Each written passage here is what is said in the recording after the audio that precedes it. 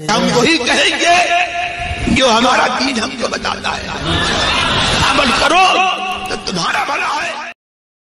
एक सवाल आया है कि क्या औरतों को गैर महरम के साथ काम करना जायज़ है? यानी जो औरतें अजनबी मर्दों के साथ में मुलाजमत करती हैं, जॉब करती हैं, ये जायज़ है या नहीं? आला हज़रत इमाम सुन्नत रदी अल्लाह तु ने औरतों के जॉब के बारे में पाँच शर्तों को ज़िक्र किया है।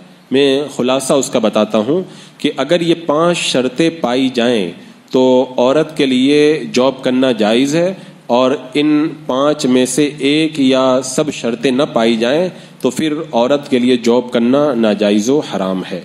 वो पाँच शर्तें ये हैं कि औरत के कपड़े बारीक ना हों, कपड़े तंग और चुस्त न हों, बाल या गले या पेट या कलाई का कोई हिस्सा ज़ाहिर न हो, गैर महरम के साथ थोड़ी देर के लिए भी उस जॉब के अंदर तनहा न रहना पड़ता हो, थोड़ी देर के लिए भी तन्हाई न हो।